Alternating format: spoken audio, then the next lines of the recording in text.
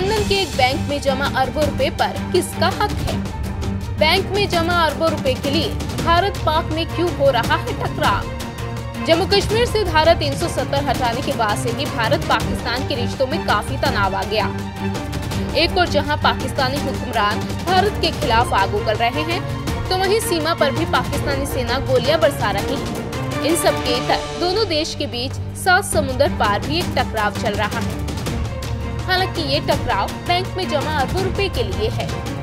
दरअसल, लंदन के NatWest bank में जमा तीन दशमलव एक अरब रुपए के लिए भारत पाकिस्तान के बीच कई दशक से टकराव की स्थिति है। लेकिन अगले महीने, यानी अक्टूबर में, ब्रिटेन के हाई कोर्ट इन रुपए के वारिस के बारे में फैसला दे सकते हैं। असल में ये रुपया हैदराबाद के सातवें निज़ाम मीर उस्मान अली खान सिद्दीकी से जुड़ा हुआ है। ये बात तब की है जब साल 1948 में ऑपरेशन पोलो के तहत हैदराबाद का भारत में विलय किया गया था।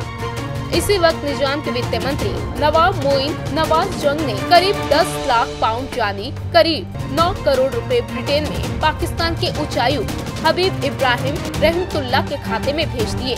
ये पैसे अब 35 गुना बढ़कर तीन दशमलव एक अरब रुपए हो चुके हैं। अब निज़ाम को इन रुपयों के बारे में पता चला तो उन्होंने इसे वापस देने की मांग की। लेकिन पाकिस्तान ने इससे इनकार कर दिया। ये मामला अब ब्रिटेन के हाई कोर्ट, यानी हाउस ऑफ़ लॉर्ड्स में जा चुका है। कोर्ट ने अकाउंट को फ्रीज कर दिया लेकिन दोबारा इस मामले को हाई कोर्ट में ले जाया गया, जहाँ जस्टिस मार्क स्मिथ दोनों पक्षों की दलील सुन चुके हैं और अक्टूबर 2019 में फैसला दे सकते हैं। निज़ाम के परिवार की ओर से कोर्ट में कहा गया कि ये पैसा ऑपरेशन पोलो के दौरान सुरक्षित रखने के लिए भेजा गया था।